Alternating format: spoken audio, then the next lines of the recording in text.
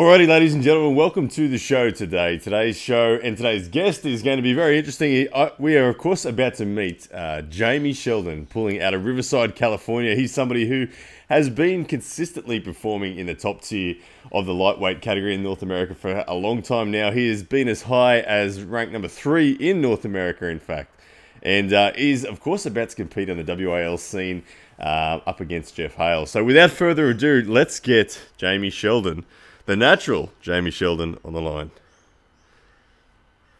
Here we go. Hey Ryan. Jamie Sheldon, how are you, brother?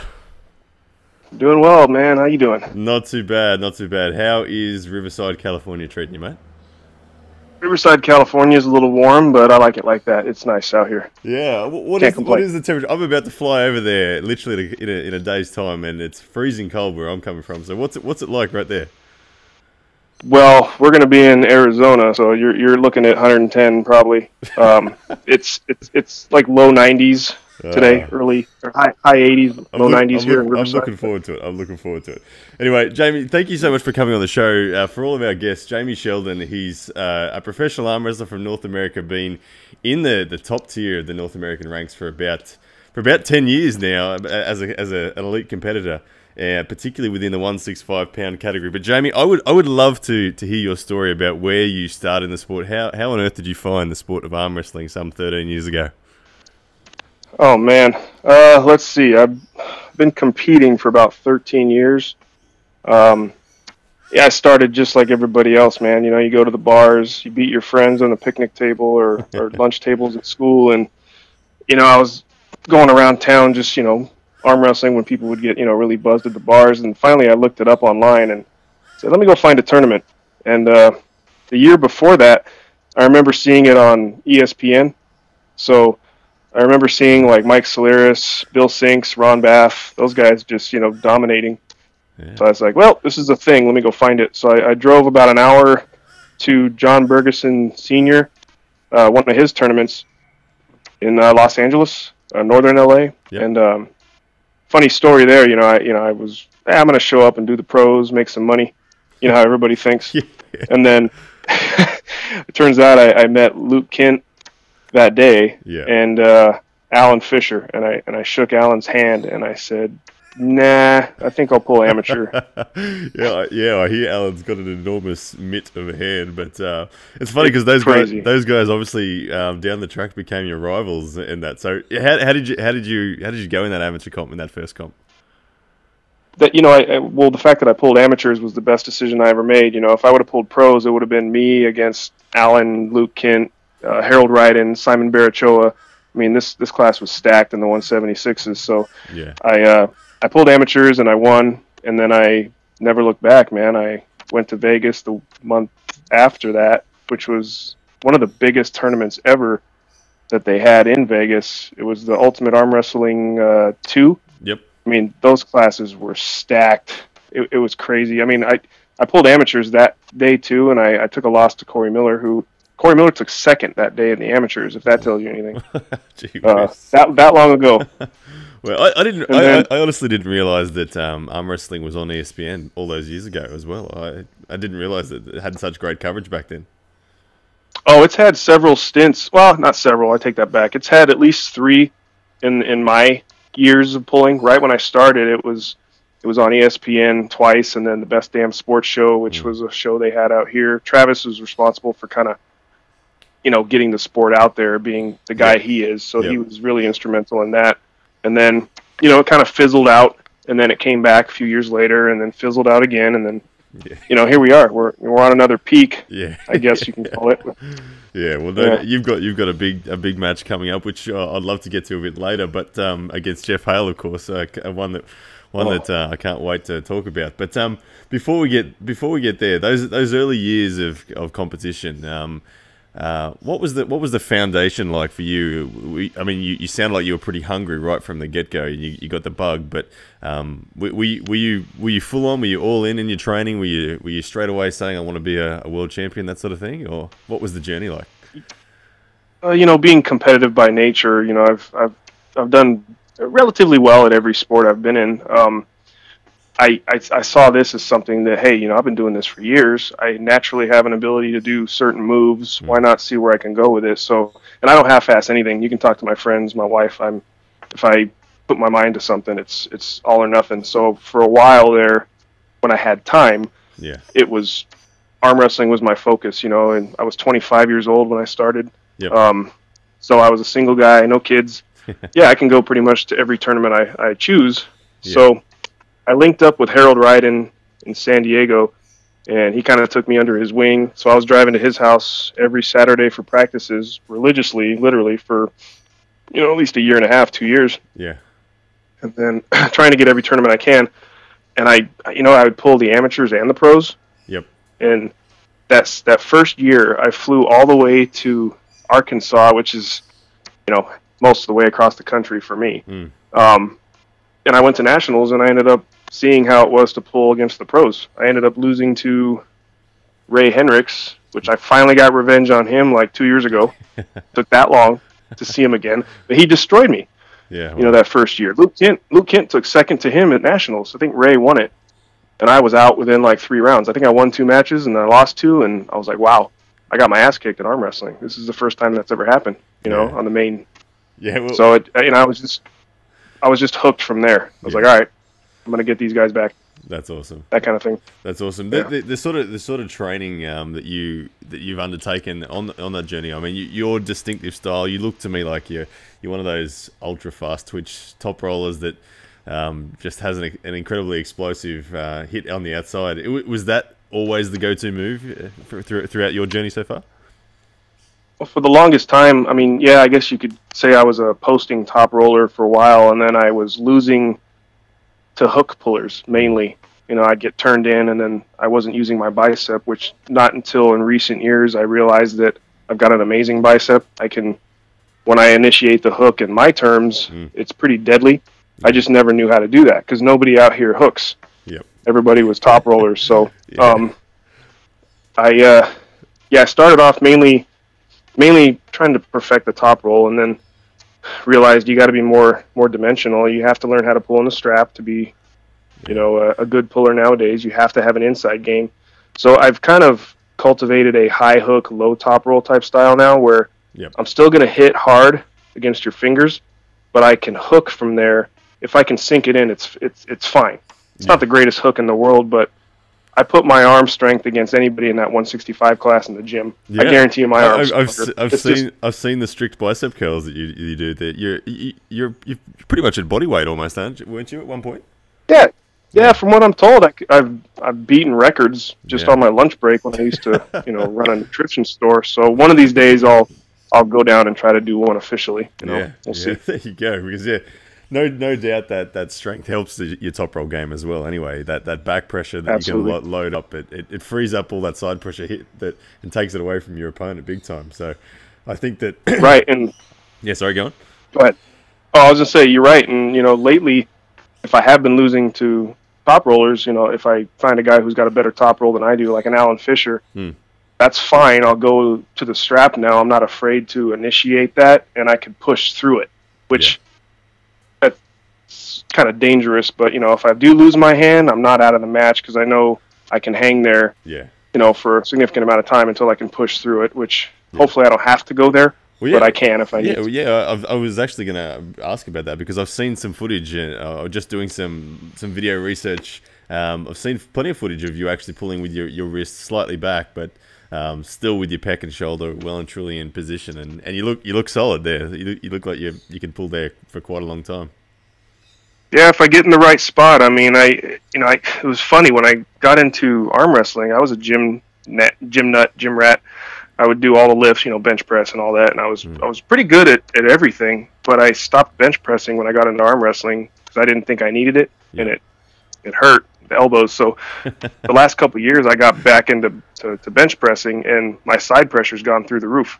Yeah. So it's something to be said about you know strict gym training and how it can help with arm wrestling once you become a good arm wrestler. Yeah, well, I, I know that um, yeah, local to, to where I live, there Australia's bench press record holder. Uh, he lives about forty minutes away from me, and he, he doesn't he doesn't arm wrestle, but he he occasionally pops his head up at our club to say hello and puts his elbow on a table, and and Yeah. just the, the, the, the sheer side pressure potential that you can feel in this guy is just like, oh, I'm glad you don't know how to arm wrestle because, yeah. So I can, I don't That's bet. crazy ability, right? Yeah, yeah, and and I mean we we've um, obviously. Uh, there's there's a few strongman bench presses. Uh, Eric Spoto, I- I've seen him on the table as well. Just look monstrous, and um, yeah. Yep. So that's all good. But um, Jamie, I'd love to, to start to go into about your ambition about um, a few matches that are coming up. Uh, you've obviously you've got Geoff Hale, and you mentioned to me that you've had a loss against Geoff Hale about six years ago. Um, tell Yes. us tell us about that match. I couldn't I couldn't find the footage of it. I'd, I'd love to dig it up, but um, tell us about that match. Oh, okay. Yeah, I, I finally got a chance to pull Geoff Hale in uh, at Nationals in 2012. We all met up in the 154 pound weight class, which that's kind of where I hovered for a while up until several years ago, and then I even, for some stupid reason, decided to make a drop to 150 to pull at UAL, which Yep. terrible. I mean, the injuries came in being light, and I'm six feet tall. I shouldn't be pulling that. Anyways, um, yeah. So I got to pull Geoff Hale. Uh, he ended up pulling Corey in the final, and it was an amazing match. Corey Miller, Geoff Hale was just just the best finals of the day, you know. And I think Corey came out on top there. Um, but when I pulled Geoff, I mean, I knew what was coming, and I tried to anticipate it. And he turned me in so fast. I was arm wrestling his forearm like my hand was completely unwrapped from his like he just it was it was over in half a second Yeah. and i'm like shit i need to get better so yeah. Yeah it was amazing so i've been waiting six years to pull him Nice, nice. I know that fe- that feeling of, of coming up against a, an incredibly fast arm wrestler. For me, it happened at my first experience at, at WAF World Championships against a Bulgarian, and and I didn't even turn I didn't turn a muscle on. He he he took away my rotation of my my arm so quickly that I just thought, what on earth just happened? Uh, Okay, I better better better get better at that department. But and Geoff Geoff seems like someone who uses that speed. So um, without without giving without giving away what you're going to be doing to stop that, um, you feel you're prepared now for Geoff this this time around. well yeah i mean ever since i i, I jumped ship from ual which i rode that to the very end in fact the picture they posted for uh, wal when they advertised our match it was the very first WAL I went to, which was a week after a UAL event. So I pulled a UAL event out here in California at 150 pounds, Yeah, and then I drove to Vegas three days later, four days later. I it was funny because I it was a 165 pound weight class for this event, and it was a regional, I believe. yeah, And uh, I stepped on the scale after in and out, and I had a beer in my hand when I weighed in, and I was 157, like soaking wet. I wouldn't have even been. I mean, it was. I looked sick. yeah. So, yeah. you know, but I did okay. I took fourth. I lost to Luke and Allen. In fact, those are the guys that beat me significantly over the last few years with WAL. But Yep. pulling WAL forced me to be a more uh, smart puller yeah, because if you go in there easy, fair, you're going to get your butt kicked. You, you got to go in and take what you want. And, and Bart Wood actually, he told me that during the setup after I lost this one match. He said, just just be aggressive. That's my only advice. And I figured, okay, from then on, I was like, all right, I'm going to go in and take what I want. And then that's kind of how I've been pulling lately. So I used to get beat, like I said earlier, to hook pullers. Now I don't fear hook pullers Mm. because I can attack their bottom fingers better, and I'm not afraid to go into a hook. Yeah. So and, and as you say, that you the WAL experience is is very very different. I, I haven't I haven't pulled in that environment yet, but um, you can clearly see how it's it's not a WAF setup uh, in the same sense of no movement before the go and and and carving is is a lot more lenient and all that sort of stuff. So yeah, if, if you find yourself being the polite polite guy, excuse me, if you find yourself being the polite guy, you're in trouble, aren't you? Exactly. You, you got to go in and take what you want. I mean, there's there's extreme cases that we've seen on TV with that, but but you can do it without being too overly Yeah, obvious, I should say. Yeah. And with, with someone like Geoff, I'm gonna have to. I have a game plan. I have A, B, C, and D, and they're all the same, just harder, faster, stronger. Yeah. And then I have E, which is another game plan if, if something doesn't work. But I, I I've, I've yeah, I've, I've I've welcomed this match for a long time I love I love it. in my own mind. I just, and I know Geoff Hale can top roll too. That's Yeah. the thing. People forget it's Geoff Hale. Like I've looked at the, uh, uh, people are thinking, you know, Sam's just going to run right through him. Which, okay, I get it. but people are forgetting it's Geoff Hale. Yeah. Geoff Hale lives in the super match format, Yes. He and does. he's got more tools than you think he does. He's a very smart arm wrestler. Yeah. So, and I hope Geoff Hale wins because I want him undefeated. But I think it's going to be a great match watching him and Sam. Yeah, well, yeah, him, him and Sam is, is, huge as well, isn't it? And, and yeah, you're, Yeah. you're sitting there waiting in the in, in the, the wins for it. But um, Right. how, how do you feel you go in the super match format? I, I've um, you've obviously you've you've pulled a lot of tournaments. You, you mentioned UAL. You were probably the one of the poster boys of the UAL, um, as you've said. You rode that train. And um, h- how many super matches at the professional level have you have you had in the in the past? I've had several, uh, not really too many on the main stage. I mean, I I think I got ahead of myself when they had me pull Corey, you know, a few years back, and he Yep. just ran through me. I got big and strong, um, but it didn't help on the table. Um, being a smarter arm wrestler now, I can get to that strength level Yep. and be more dominant. So, I, you know, I I like my chances, but I know I'm the underdog, and I've talked to Geoff. Yeah. Geoff thinks he's the underdog. I'm like, no, no, no, you're Geoff Hale. No, he's, he's a friend of mine.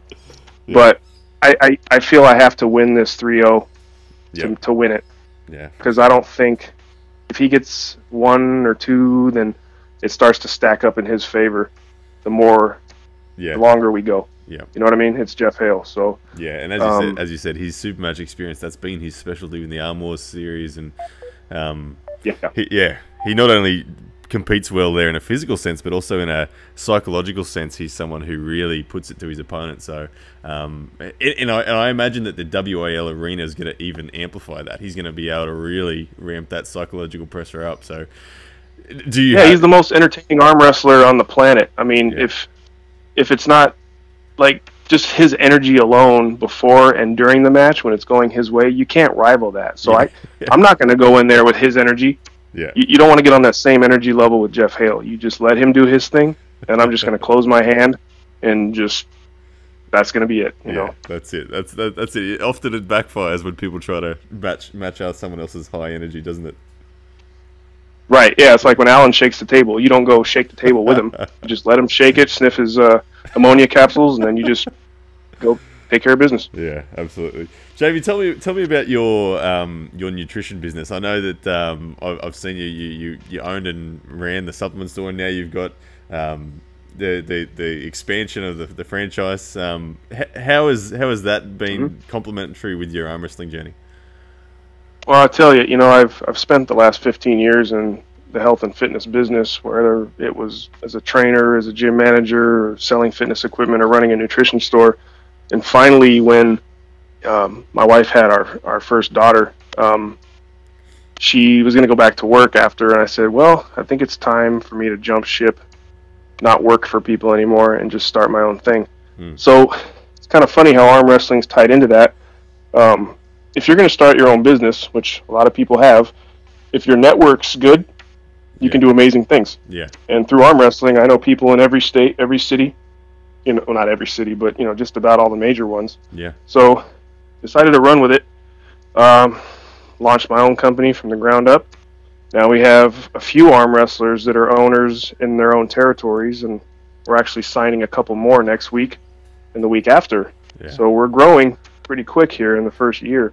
That's and- awesome.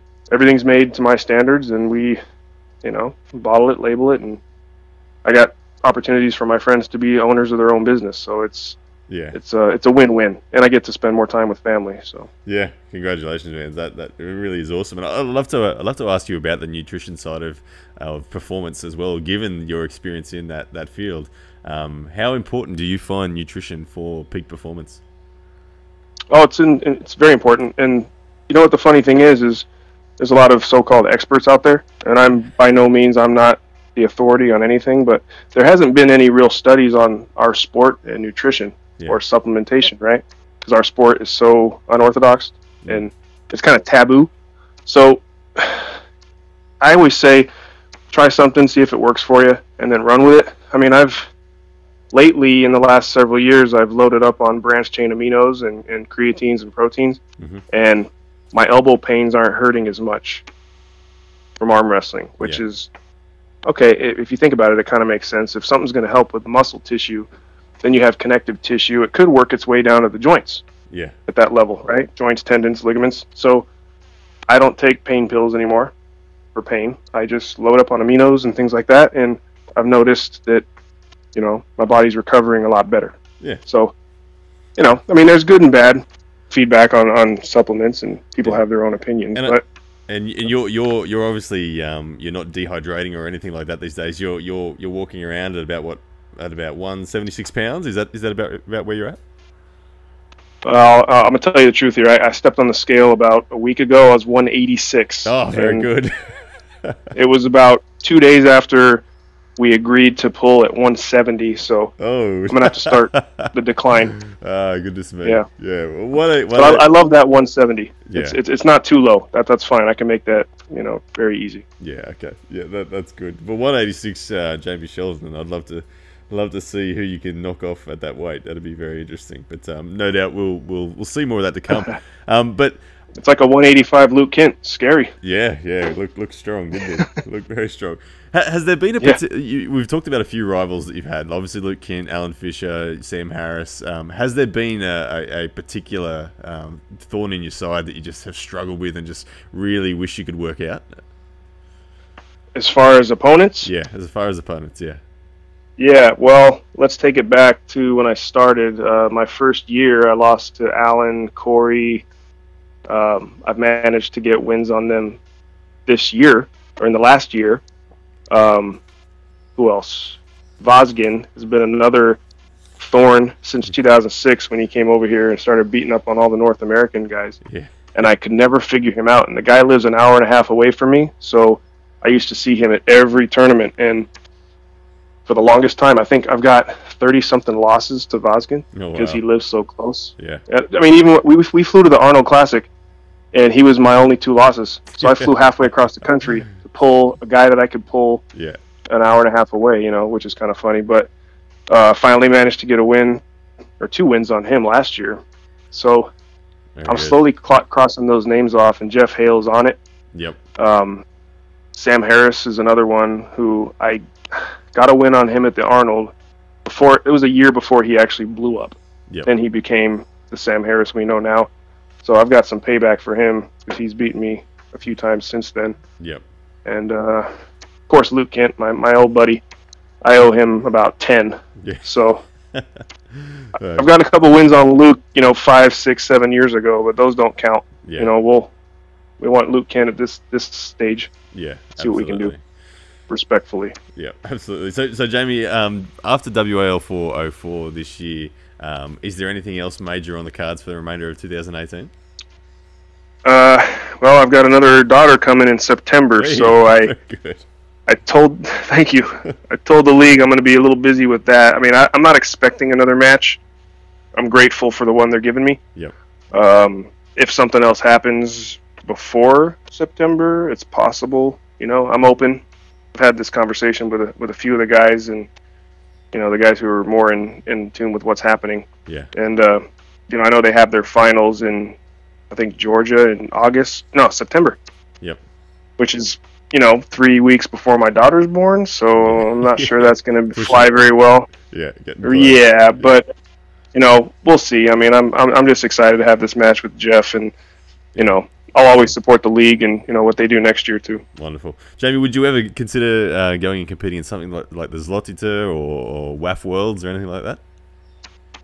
Well, I have a running joke with uh, Harold Ryden and Jake Smith. You know, you know Jake Smith. Yeah. Yeah. Of course you do. Yeah, Jake's like you know one of my brothers in the sport with Harold. They're like my, my go-to guys. Um, there was a I'm the youngest, and I'm turning 40 in two and a half years, and we have this deal that when I'm 40, the three of us are going to go compete at nationals and go to worlds Yeah. and the masters. Yeah. All all three of us old. Just go pull the 40 and above or whatever, and Yeah. hopefully not get my ass by Engin Terzi or something, Yeah. but which might happen. uh, be a good experience. I've only done it done it once at WAF Worlds, and it was it was it was a thrill. Um, there was just just the, the sheer depth of pullers there. The amount of after pulling you can do is crazy. Um, Oh yeah, Yeah. it's it's definitely worth it. You know, it's it's the thing is though, it's I have to justify because I if I do something like that and I travel to another country, I'm going to take the wife. Yeah. We're going to make a vacation out of it. So I'm looking at like a five thousand dollar investment to go arm wrestle, and then you know that's with all the stuff we have going on right now, yeah, we're gonna have to put that Yeah. off, you know, at least a few more years. But Yeah. you know, definitely on my list. Awesome. Yeah, I think you'd do well over there anyway. I think you'd be certainly you'd be top ten for your weight category. I think at WAF Worlds, I reckon, without a doubt, and and possibly if you got the right draw and, and performed well, getting close and on the podium, all that sort of stuff. Even so, we'd love to see you over there, man. So, um, what are, what are the what are the long term goals in the sport? You're, you're someone who started in the sport very very hungry, and you've done incredibly well. I, are you are you still driven to, to to be the man in North America at your weight? Well, I think I'm finally coming to a level that I, I, I wish I would have been at years ago in the sport. You know, Yeah. things are starting to like click for me. I'm getting bigger, stronger. Um, I'm being, or I I don't want to say I'm better than these guys. I'm getting wins on some of these top guys. Yeah. And I, I used to think that I was, you know, a couple tiers below some of these guys. And Alan kept telling me, he's all, no, you're right here with us. You just haven't done it yet. Yeah. He's all, you're right there. You just got to be more hungry. And you know, when I finally beat him, it clicked. Like, wait a minute, I can compete with these guys if I actually try and put my mind to it. So, um, that's kind of where I'm at. I mean, I it's funny. I had this. I don't know if you saw one of my posts. It was like I just realized I'm the second oldest guy in my weight class in the in the elite series. You have Cobra, then me, then you have a bunch of these younger guys that I'm like, what the hell happened? I was like young. Yeah. I didn't. I didn't. I didn't I'm not I, anymore, I didn't know? realize you were at the the older end of the North American crew. So yeah. Yeah, I mean, I'm still young by by some standards. I mean, I'm almost 40, but it's it's kind of a joke. But it's like, damn, he's got these younger guys in their 20s and in their early 30s that are kicking my ass. It's like, wow, Yeah. it's kind of making me a little bit more hungry in that sense. Yeah. So I do have those goals. You know, I I do want to grip up with some of the legends again, and before they hang it up, and I'm just gonna ride it out, man. Yeah. You know, Well, it's, it's a good sport for that, It's isn't arm it? wrestling. It's a good sport. It- It's one of the I've never seen a sport with, with quite the longevity of this this sport. So I think that um, I know Right. that you. I can imagine you. I, I know I want to be um, uh, an eighty year old grandfather one day, arm wrestling my thirty year old grandchildren, and they still can't pin me. That's that's my that's my long term goal. oh, of course, yeah, and you'll definitely be doing that. You know. a lot of fun. And, I- and I think it's cool that you know I get to finally uh, meet you in person next week, right? Yeah, yeah, Arizona next week at the. Uh, I'll be competing in the NAL championship, so uh, looking forward to, to gripping up with people like Paul Lynn. Yeah, I'll, I'll definitely be there. I'll uh, I'm not pulling the the tournament because I'm gonna save everything for Geoff, but I'll, I'll be there working on my tan and drinking some beer and hanging out and supporting everybody. And Awesome, awesome. Well, well, man, I, I really look forward to, to seeing you there and meeting you in person, and and uh, can't thank you enough for coming on the show today, man. Hey, the pleasure's all mine, man. I mean, keep doing what you're doing. You're you're really blowing up the sport, and I think that's awesome. I mean, you got some of some of our best guys to come out there and, and hang out with you and, and pull, and that was the coolest thing ever. Yeah. Justin had a great time. I talked to Ron; he had a blast. So keep keep doing it, man. Awesome. That's awesome. No worries. Thank you very much, brother. Okay, talk Take to you care. soon. Alrighty, ladies and gentlemen, there we have it. Jamie, the natural Sheldon, uh, fascinating story and, and, and a really cool dude as well. So um, he's obviously got the big match coming up with Geoff Hale at WAL 404. You heard it there. He is very hungry to to correct the the loss that he had against Geoff Hale back. I think it was in 2012 uh, at the Nationals. So um, Jamie Sheldon there. Um, really appreciate the fact that he was on the show. All right, guys, if you could hit like and share on this one, that would be amazing. All right, see ya.